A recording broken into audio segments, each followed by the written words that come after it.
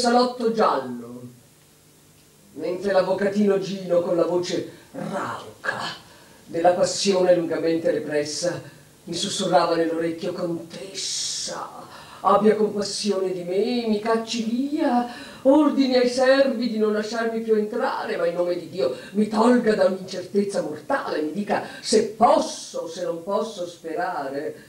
Mentre il povero giovine mi si gettava ai piedi, io ritta, impassibile, mi guardavo nello specchio. Esaminava il mio volto per trovarmi una ruga, la mia fronte su cui scherzano i riccioletti e liscia e tersa, al di sopra delle mie labbra un po' grosse, rosse. Non si vede una grinza non ho mai scoperto un filo bianco nei lunghi capelli, i quali sciolti cadono in belle onde lucide.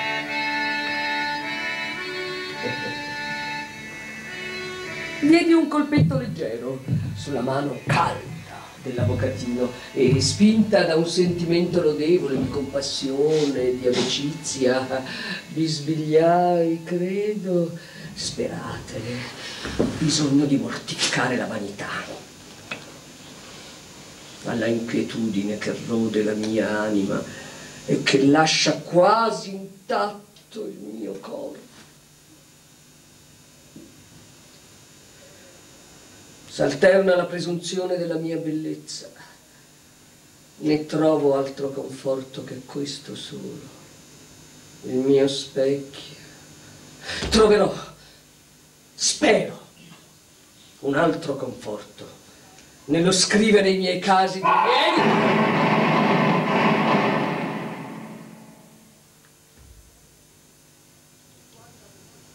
ai quali vado ripensando con acre voluttà. Mi resta scolpita nella mente ogni azione, ogni parola e soprattutto ogni vergogna di quell'affannoso periodo del mio passato e tento sempre e ricerco le lacerazioni della piaga non rimarginata. Ne so bene se ciò che io provo sia in fondo dolore, solletico. Mm, che gioia! Confidarsi unicamente a sé liberi da scrupoli, ipocrisie, reticenze, rispettando nella memoria la verità, anche in ciò che le stupide affettazioni sociali rendono più difficile a proclamare le proprie bassezze, Sono altera di sentirmi affatto diversa dalle altre donne. Il mio sguardo non teme nessuno spettacolo. C'è nella mia debolezza una forza audace. Somiglio alle romane antiche, a quelle che giravano il pollice verso terra. Dovrei essere una donna felice. Oh.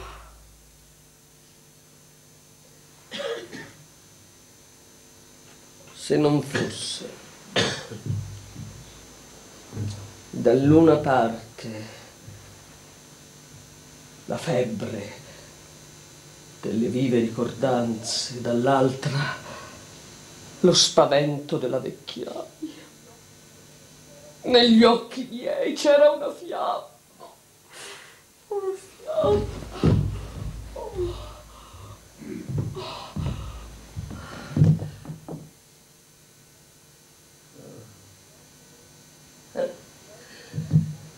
Direi di avere toccato il colmo della mia bellezza.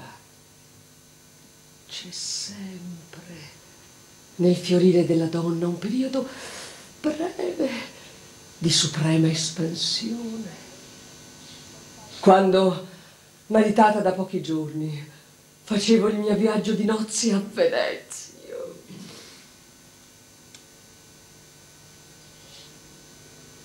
Era il luglio dell'anno 1865. Per mio marito, che avrebbe potuto essere mio nonno, provava una indifferenza mista di pietà e disprezzo. Portava i suoi 62 anni e l'ampia pancia con apparente energia. Si tingeva i radi capelli e i folti baffi con un unguento puzzolente il quale lasciava sui guanciali delle larghe macchie giallastre del rimanente buon uomo, pieno di attenzioni per la giovine sposa, bestemmiatore all'occorrenza, aristocratico burbanzoso, raccontatore vivace di storielle lubriche che ripeteva ogni tratto. Mm, si pavoneggiava nel tenermi al suo braccio, ma guardava le donnette facili con un sorriso di intelligenza lasciva. Lo avevo pigliato spontaneamente, anzi, lo avevo proprio voluto io. Volevo avere carrozze mie, brillanti, un titolo e soprattutto la mia libertà. E oggi dopo tanti anni. Non ne sono pentita. In fondo, non mi pareva di dovermene pentire neanche in quei giorni in cui scoppiata l'anima, quasi d'un tratto. Mi sfogavo nel parossismo di una prima passione cieca. Ah, a Venezia la mia bellezza sbocciava intiera negli occhi degli uomini quando mi guardavano. Brillava un lampo di desiderio, perfino le donne mi fissavano, ammirando. Mio marito era stato rappresentante della nobiltà tirolesi alla dieta di Innsbruck Fu invitato con me ai pranzi e alle conversazioni del luogotenente imperiale. Ah. Quando entravo nella sala con le braccia nude, con il collo e un poco del seno scoperti, con un abito di velo e trine a lunghissima coda, e un gran fiore di rubini a foglie di smeraldi sul capo. Sentivo un fremito correre tutto intorno, un rossore di compiacenza mi coloriva il viso. Facevo qualche passo lento, solenne e semplice, senza guardare nessuno.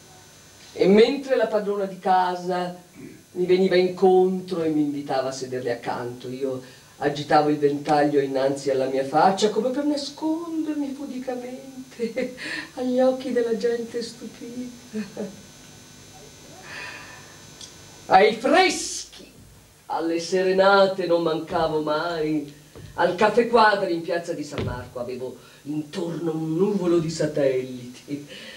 La mia corte si componeva in massima parte di ufficialetti piuttosto scipiti, assai tronfi.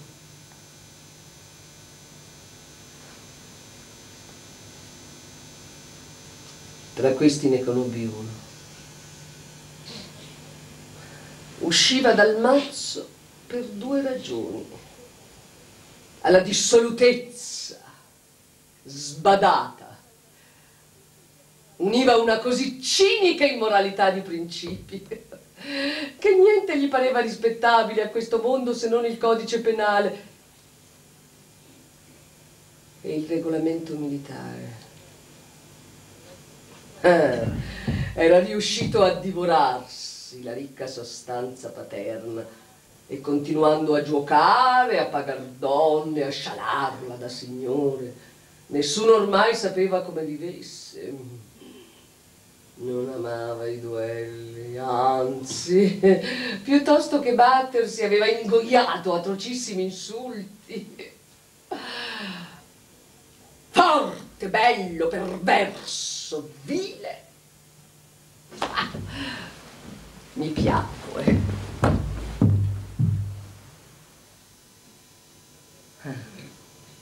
Venezia mi parlava più ai sensi che all'anima. I suoi monumenti mi importavano meno del,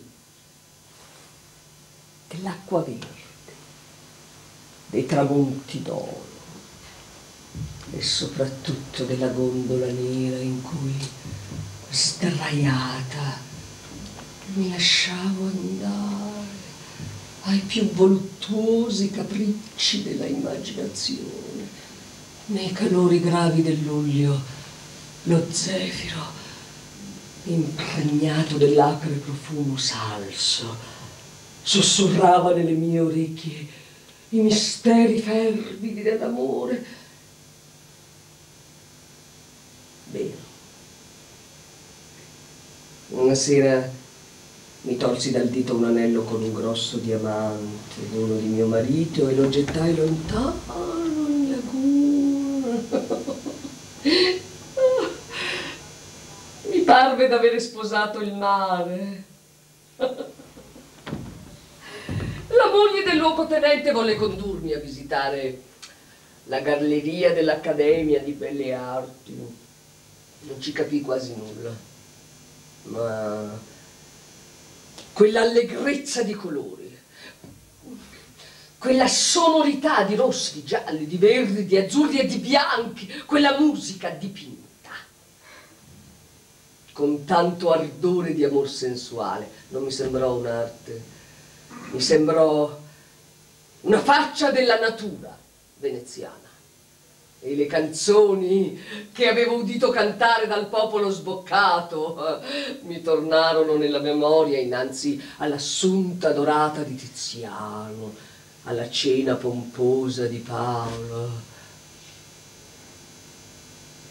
Mio marito fumava, rossava, diceva male del Piemonte e comprava cosmetici. Io Avevo bisogno di amare. Ora ecco in qual modo principiò la mia terribile passione per quella donna in divisa bianca, il quale si chiamava con un nome che non mandava versi, Remigio. Costumavo di recarmi tutte le mattine al bagno galleggiante di Rima. Avevo preso per un'ora dalle sette alle otto. Una sirena, una delle due vasche per donne, grande quanto bastava per nuotarvi qualche poco. E la mia cameriera veniva a spogliarmi e a vestirmi, ma siccome nessun altro poteva entrare, così non mi davo la briga di mettermi l'abito da bagno. La vasca, chiusa intorno da pareti di legno e coperta da una tenda, Aveva il fondo di asso accomodato a tale profondità che a me restavano fuori le spalle intiere. Nuotavo, quant'era lunga la sirena.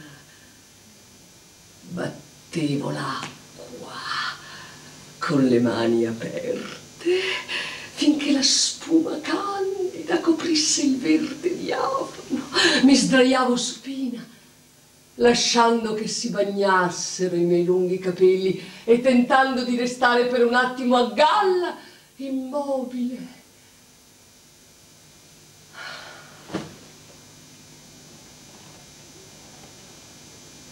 Molte larghe aperture permettevano di vedere attraverso le fessure qualcosa al di fuori, il campanile di San Giorgio, una linea di laguna, una fetta del bagno militare che galleggiava a pochissima distanza. Una mattina, mentre guardavo sulla mia coscia destra una macchietta livida che deturpava un poco la bianchezza rosea della pelle, udii fuori il rumore come di persona la quale notasse rapidamente.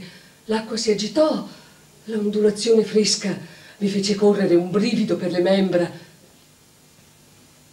e da uno dei larghi fori, tra il suolo e le pareti, entrò improvviso nella sirena un uomo. Non gridai, non ebbi paura. Mi parve fatto di marmo, tanto era candido e bello, ma il suo ampio torace si agitava per il respiro profondo e i suoi occhi celesti brillavano e dai capelli biondi cadevano le gocciole come pioggia di lucenti perle, ritto in piedi. Mezzo velato dall'acqua ancora tremolante, alzò le braccia muscolose e morbide, pareva che ringraziasse i numi e che dicesse finalmente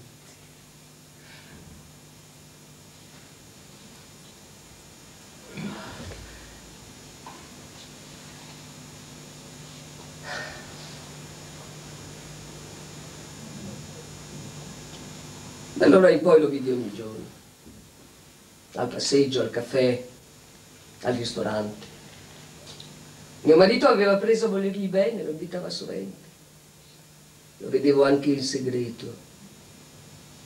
Il luogo dei nostri incontri non era sempre il medesimo, alle volte Remigio in una gondola chiusa.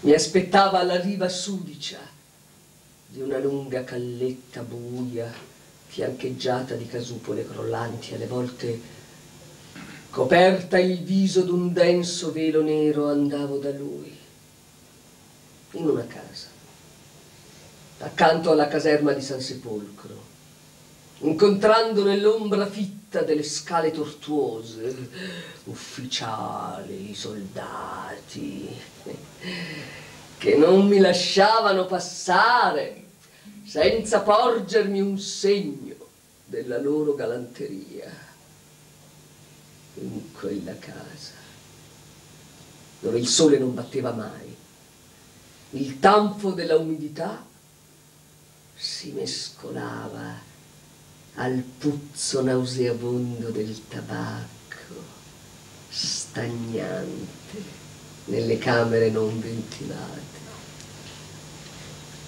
Mai ero parsa tanto bella, agli altri e a me stessa, mai tanto allegra e contenta di me, della vita, di tutto e di tutti. Diventavo buona, indulgente, spiritosa. La seggiola di paglia su cui mi adagiavo in piazza San Marco diventava un trono.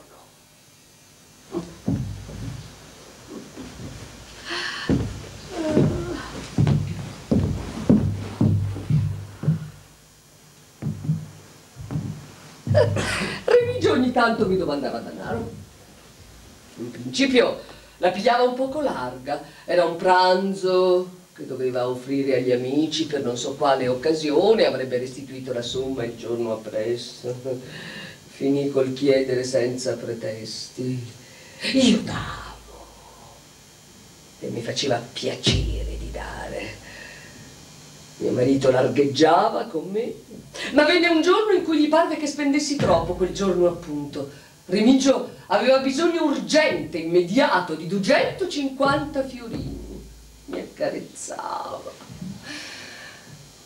Mi diceva tante cose belle con un tono così ardente che io mi sentii beata di potergli offrire uno spillone di brillanti, il quale costava 40 napoleoni d'oro il disseguente. Remigio mancò all'appuntamento. Dopo aver passeggiato una ora buona, sicché la gente mi guardava con curiosità e con malizia, i motti scherzosi mi fiorivano intorno. Alla fine corsi a casa sua trafelata, fuori di senno. L'ordinanza stava lucidando la sciabola.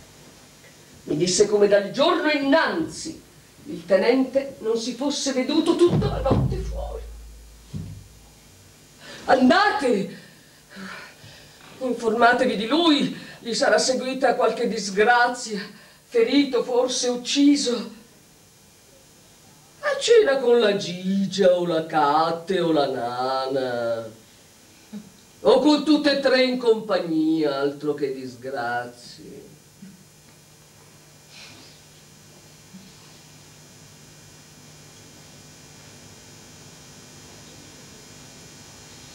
Compresi allora che il tenente Remigio Ruz era la mia vita.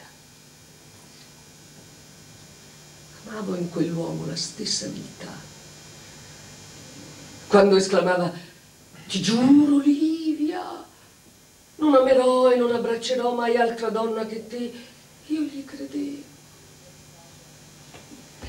E lo guardavo adorando come fosse un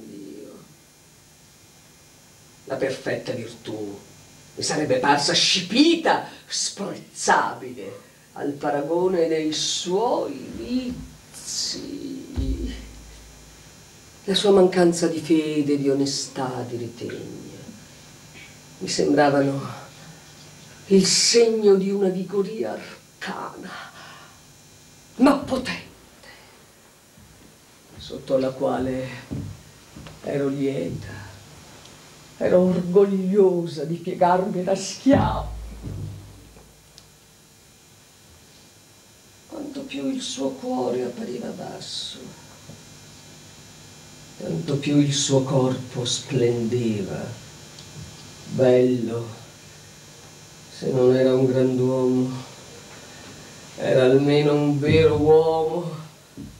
Mi stringeva alla vita in modo da stritolarmi mordeva le spalle facendomele sanguinare.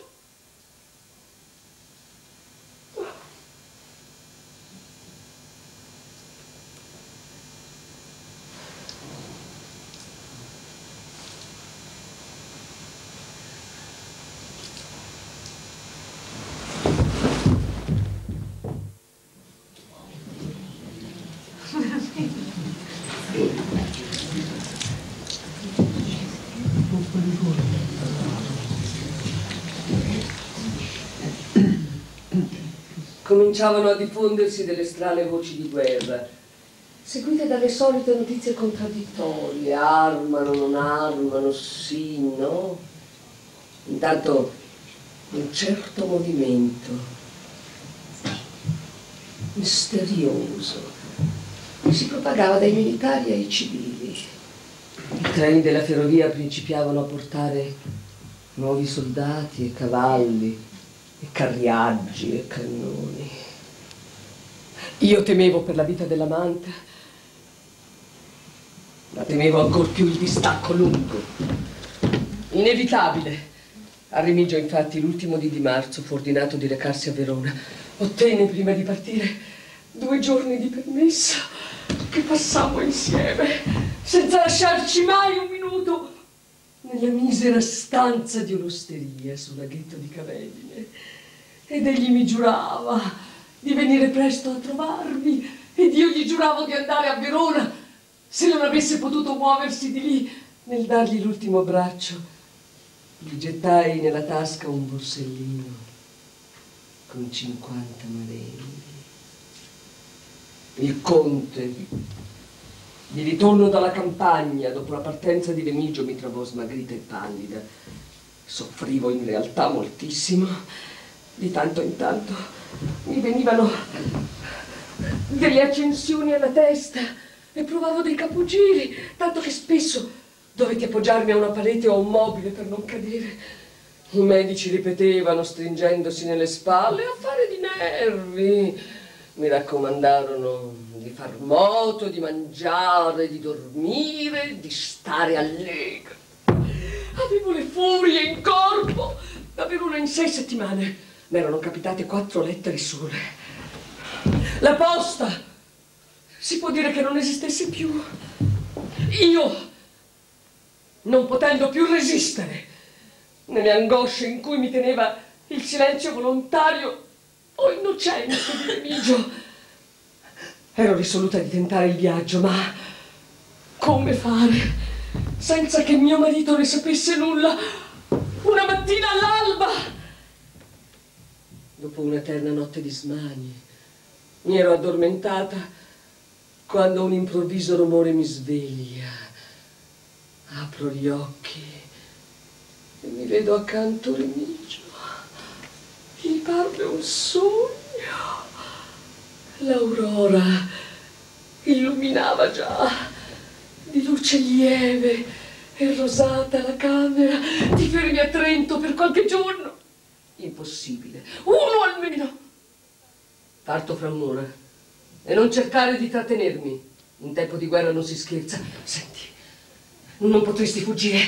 Non potresti nasconderti. Ti aiuterò. Non voglio che la tua vita sia messa in pericolo.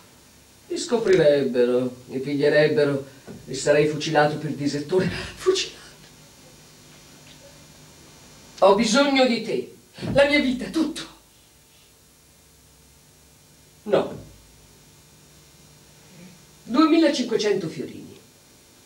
Con 2500 fiorini i due medici della brigata e i due dell'ospedale mi fanno un certificato di malattia, una infermità qualunque, la quale mi rende inabile del tutto al servizio. Non perdo il mio grado, non perdo il mio soldo e scanso ogni pericolo. Avrò il fastidio di stare a casa nel giorno, ma di notte mi potrò sfogare, ti piace? Non guarderai nessun'altra donna. Me lo giuri? Sì, sì, te lo giuro! Ma intanto l'ora passa e i 2500 fiorini mi occorrono, ma nello scrigno tengo sempre poco denaro. Dammi i gioielli.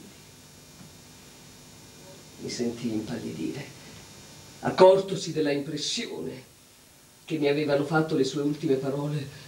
Mi prendeva le mani e le baciava, ero già vinta. Trassi dallo scrigno un fornimento intero di brillanti. Ecco, prendi. Costò quasi 12.000 lire. Cerca modo di poterlo recuperare. Il diadema specialmente mi stava tanto bene. E i denari? Me li dai? Mi farebbero comodo. Cercai nello scrigno i napoleoni d'oro e senza contarli glieli diedi. Mi baciò frettolosamente, fece per uscire, lo trattenni, mi respinse con un gesto di impazienza. Se ti preme la mia vita, lasciami andare. Mi scriverai subito? Sì, sì, ogni due giorni. Era già sparito.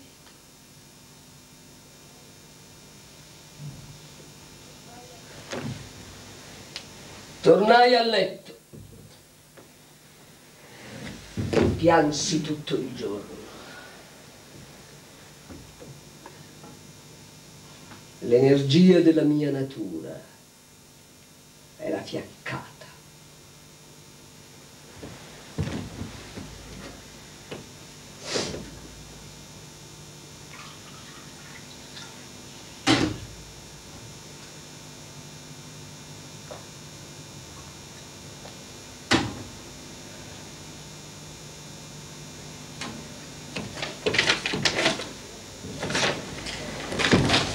Una settimana intera dopo la partenza di Remigio, la cameriera mi portò una lettera, Livia Dorata, mi hai salvato la vita, ho venduto l'astuccio a un salomone qualunque per poco, ma in queste circostanze non si poteva esigere di più duemila fiorini, i quali sono bastati a riempire la vorace pancia dei medici.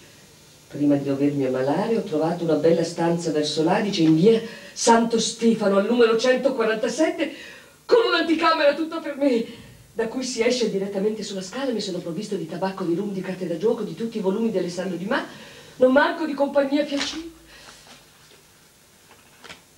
Tutti maschi, non ti agitare.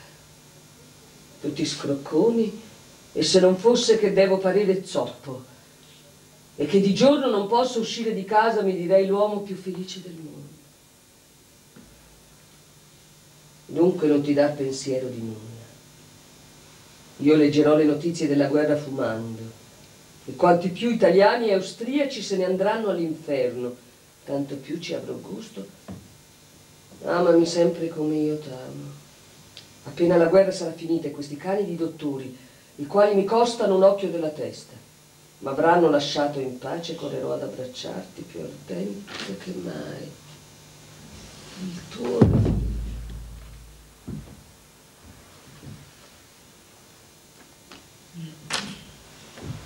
lettera mi lasciò sconcertata, disgustata. Così mi parve volgare.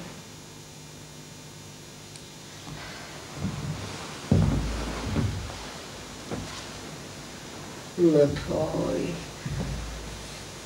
nel tornarmi su, a poco a poco mi persuasi che il tono in cui era scritta fosse affettatamente leggero e gaio e che l'amante avesse fatto un crudelissimo sforzo per, per contenere l'impeto del suo cuore, per non gettare nuova esca nella mia passione che era già un incendio e per quietarmi un poco l'animo che gli sapeva terribilmente ansioso. Chissà, mi dicevo tra me, chissà che questa lettera se è tutto un magnanimo inganno, forse egli è già partito per il fronte, forse ora è di contro al nemico, ma per non farmi morire nei terrori m'addormenta con la menzogna pietosa.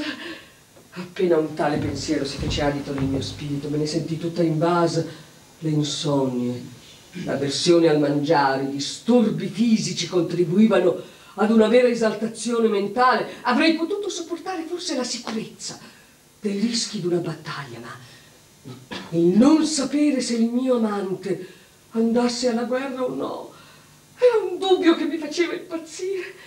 Ristudiai la lettera in ogni frase e la serbai in un taschino del portamonete per cavarnela spesso quando ero sola.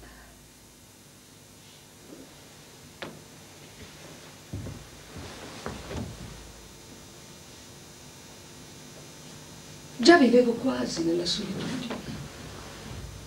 La mia società s'era andata via via restringendo. Le famiglie nobili trentine, contrarie alle idee politiche del conte, avevano da un pezzo lasciato lui e me affatto in disparte.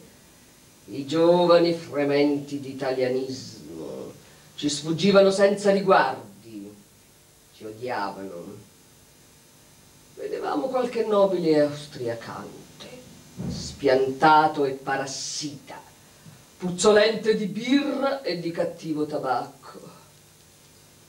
I militari non avevano più l'agio né la voglia di occuparsi di me. La mia relazione col tenente Remigio, conosciuta da tutti, tranne che da mio marito, aveva accresciuto il mio isolamento, il quale del resto mi era gradito, anzi necessario nello stato d'animo in cui da un po' di tempo vivevo, Remigio dopo la lettera famosa non aveva più scritto. Io scrissi a Verona, a un generale che conoscevo, a due colonnelli, a qualcuno di quegli ufficialetti quali mi avevano tanto corteggiato a Venezia. Nessuno rispose. Tempestavo Remigio di lettere, niente. Intanto le ostilità principiarono, la vita civile era soppressa.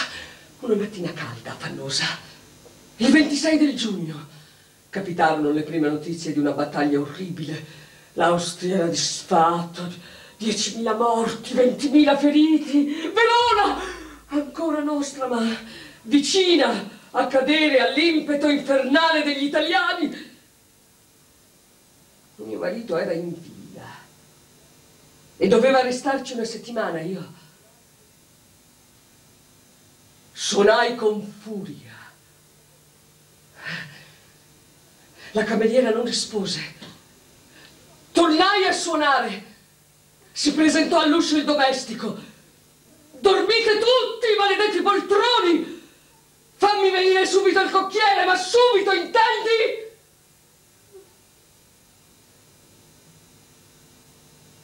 All'albero in carrozza. E via.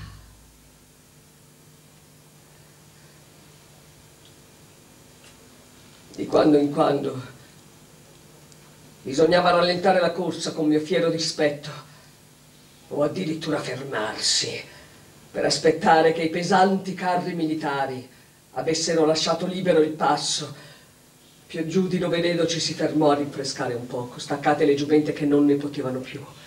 Ci fermammo tre ore, mi parvero tre anni, rannicchiata com'ero nella carrozza, udendo i lamenti e le bestemmie dei soldati, i quali si lasciavano cascare in terra e mangiavano un tozzo di pagnotta e bevevano un sorso d'acqua e Remigio, Remigio. Si ripigliò quando divolle il cammino. L'Adige che costeggiavamo era quasi asciutto. I campi sembravano arsi. Le pareti della carrozza bruciavano. E in quell'afa grave, in quella densa polvere, io mi sentivo soffocare. Sempre carne sempre soldati. Cominciava a far notte. Il sole era finalmente scomparso in un nimbo di fuoco. S'arrivò alle mura di Verona verso le nove. All'albergo della Torre di Londra non c'era una camera, non c'era un buco dove poter dormire, tutto requisito per gli ufficiali. I cavalli morti di stanchezza furono legati nel cortile e io finalmente sbalzai a terra.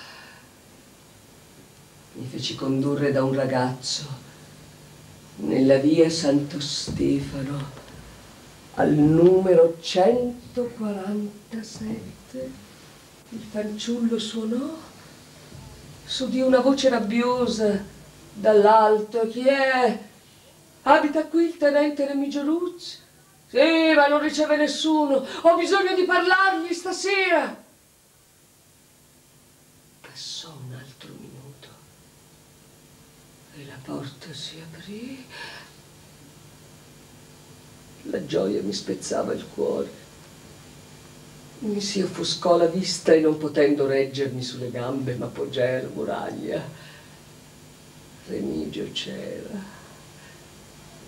Dopo qualche minuto il fanciullo tornò. Si era fatto mandare al diavolo, ma aveva potuto lasciare l'uscio e la porta socchiusi. Mi tornarono le forze e strisciando entrai nella casa. Al pianerottolo del secondo piano v'erano due usci, su uno dei quali era appiccato il biglietto da visita di Remigio. Spinsi l'imposta ed entrai senza rumore in una stanza quasi buia. Toccavo la cima delle mie speranze. Sentivo già le braccia dell'amante mio stringermi e schiacciarmi impetuosamente sul suo largo torace. Sentivo i suoi denti incidere la mia pelle. Un mondo inenarrabile di allegrezze furiose. Dovetti sedermi su una seggiola. Io vedevo e udivo come se fossi immersa in un sogno. Avevo perso il senso della realtà.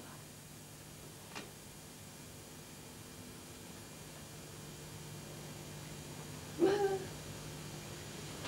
qualcuno rideva, rideva. Un riso di donna sguaiato, sgangherato, che a poco a poco mi ridestò. Mi rizzai e trattenendo il respiro m'avvicinai a un uscio dal quale si vedeva una vasta camera illuminata. Io stavo nell'ombra, né mi si poteva scorgere, perché in quel punto il Dio non mi accecò.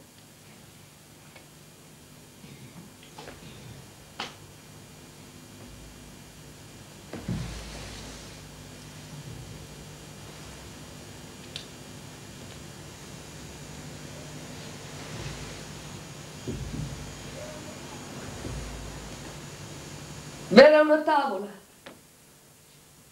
Con resti di una cena. E dietro alla tavola un largo canapè. Verde.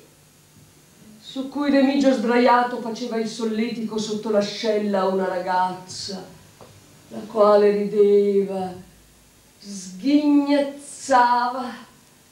E lui le dava i baci sulle braccia sul collo, sulla nuca. Io avevo gli occhi fissi, le orecchie tese, la gola arsa.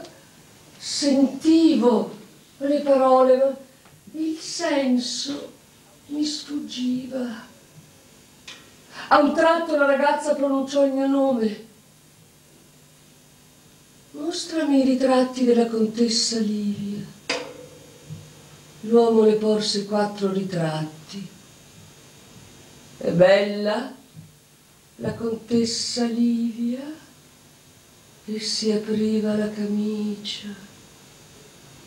Guarda, ti sembro più bella io? Mille volte più bella. E la baciò in mezzo al petto. La ragazza prese i quattro ritratti e lenta lenta li lacerò e lasciava cadere quei brani in mezzo ai tondi e ai bicchieri. E tu, cattivo, le dici pure di volerle bene. Glielo dico il meno possibile, ma ho bisogno di lei. E noi non saremmo qui insieme, cara, se non mi avesse dato il denaro che sai. Anzi, bisogna che scriva a Trento alla cassa ogni parola dolce, un mare.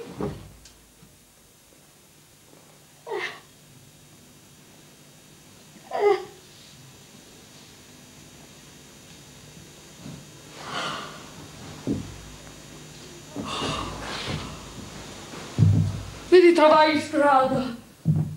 Andavo senza sapere dove passavano accanto gruppi di soldati, barelle, da cui uscivano gemiti lunghi. Nessuno badava a me, che scivolavo lungo i muri delle case ed ero tutta vestita di nero con un fitto velo sul volto. Arrivai a un largo viale piantato di alberi cupi, dove il fiume si perdeva quasi nelle tenebre, ma non mi venne neanche per un istante la tentazione del suicidio. Era già nato in me, senza che neanche me ne fossi avveduta. Un pensiero bieco, ancora indeterminato, che mi invadeva adagio adagio l'anima intiera e la mente. Il pensiero della vendetta, infame, infame.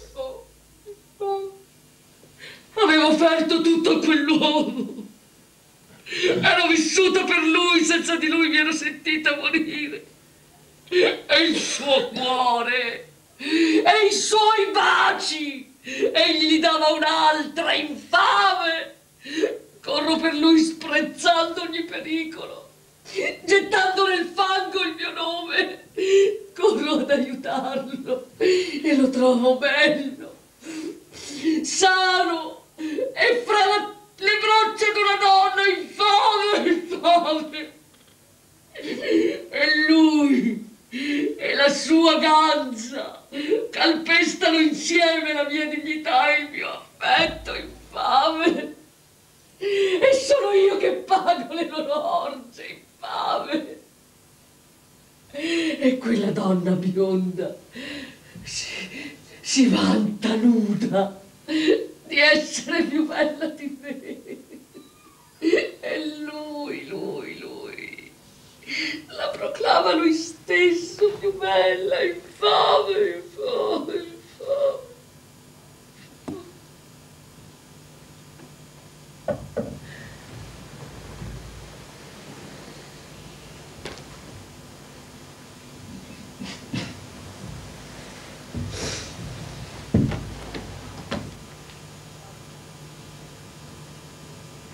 Cascavo di fatica. Da 18 ore non avevo mangiato. Mi trovai per caso di contro a una bottega da caffè e parendomi che non vi fosse nessuno andai a pormi nel canto più isolato e scuro, ordinando qualcosa. Nell'angolo opposto stavano quattro militari fumando e sbadigliando. Poi entrò sola una ragazza e si pose a sedere accanto a un ufficialetto magro. Sai, Costanza, ho visto il tuo tenente Remigio con Giustina.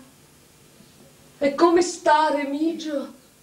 Malattia provvidenziale, gli altri arrischiano la pelle e lui sta allegro e trova chi lo mantiene, una vecchia bavosa, no cara, una donna bella e giovine e per giunta milionaria e contessa e di Trento e a nome Livia. Finita la guerra, guarita la gamba, non lo dire neanche per ischerzo, sai che per il solo sospetto di un inganno il tenente e i medici verrebbero fucilati, lui come disertore e gli altri come complici. Il generale ha...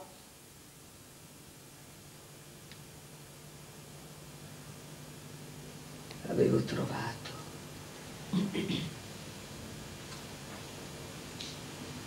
Avevo risoluto. Il generale Hauptmann la mattina prima delle nove. Mi feci condurre al comando della fortezza. Giunsi senza ostacoli all'anticamera degli uffizi dove un vecchio invalido pigliò il mio biglietto da visita. Dopo qualche minuto tornò dicendomi che il generale Hauptmann mi pregava di raggiungerlo nel suo quartiere privato. Fui condotta attraverso logge, corridoi e terrazze in una sala che dominava dalle tre larghe finestre la città intera. Il sole mattutino rallegrava l'abitato e i colli e dall'una parte indorava le montagne, dall'altra gettava una luce placida sulla interminabile pianura verde. In quella entrò il generale. Mi scusi signora, conosco di nome il signor Conte e sarei lieto di poter servire in qualcosa la signora contessa. Signor generale, vengo a compiere un dovere di suddita fedele. La signora contessa è tedesca? No, sono trentina. Lei? Non capisco. La lettera è indirizzata a lei? Sì, generale. Dunque l'uomo che scrive è il suo amante. La lettera è di Remigio Ruz, luogotenente del terzo reggimento granatieri. Si è fatto credere malato pagando i medici. È disertore dal campo di battaglia. Ho inteso. Il tenente era il suo amante e l'ha piantata. Ella si vendica facendolo fucilare e insieme con lui facendo fucilare quattro medici. Dei medici non mi importa. Signora, ci pensi. La delazione è un'infamia e l'opera sua è un assassinio. Signor generale, compia il suo dovere.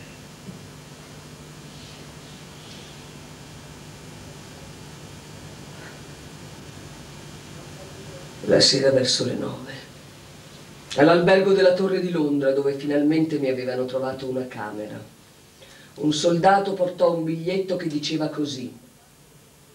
Domattina, alle quattro e mezzo in punto, verranno fucilati nel secondo cortile di Castel San Pietro il tenente Remigio Ruz e il medico del suo reggimento. Questo foglio serve per assistere all'esecuzione. Il sottoscritto si scusa con la signora contessa di non poterle offrire anche lo spettacolo della fucilazione degli altri medici, i quali furono rimandati ad altro consiglio di guerra, generale Hauptmann.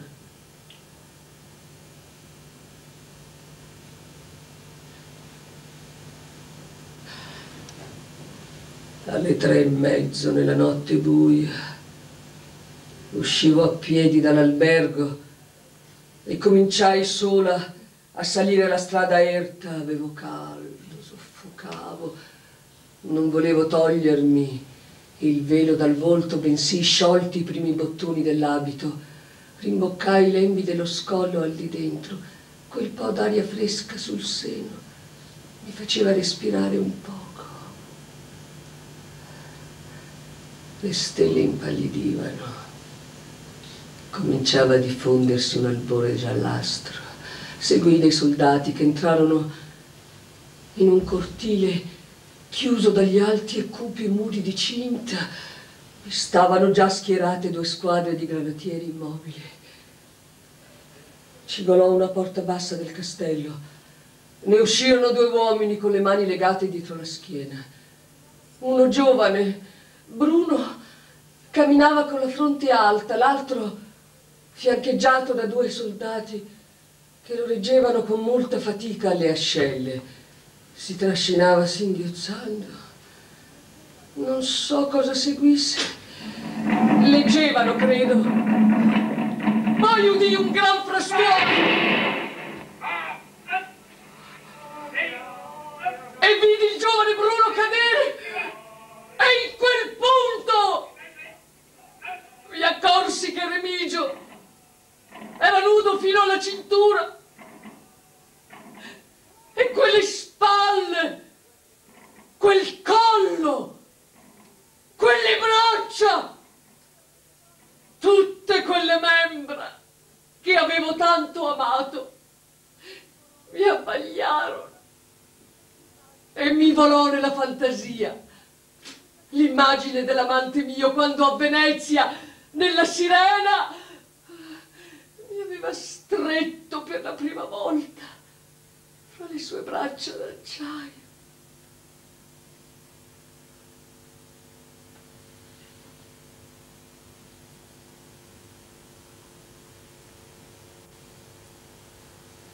Sul torace ancora palpitante. S'era slanciata una donna bionda cui schizzavano addosso i zampilli di sangue alla vista di quella femmina. Turpe. Si ridestò in me tutto lo sdegno. E con lo sdegno la dignità e la forza. Ma avviai per uscire tranquilla nell'orgoglio di un difficile dovere compiuto.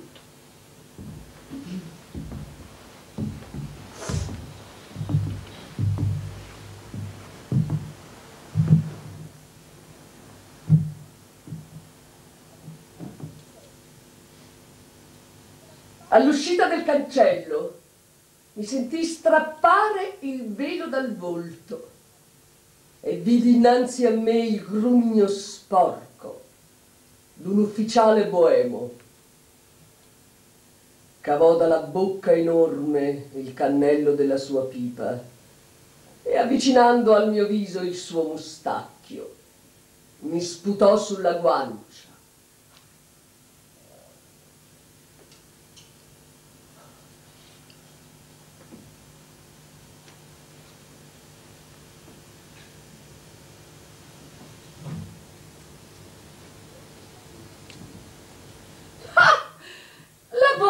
L'avvocatino Gino.